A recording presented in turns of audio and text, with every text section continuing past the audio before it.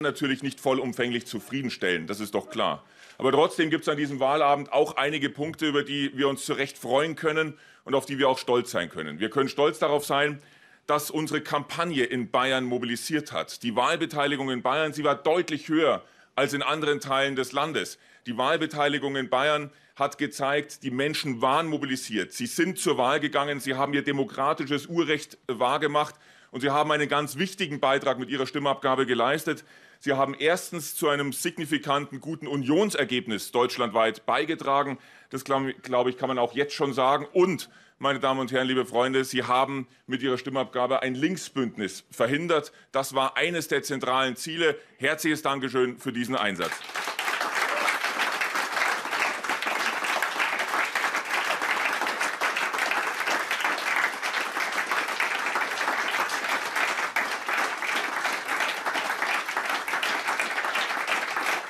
CSU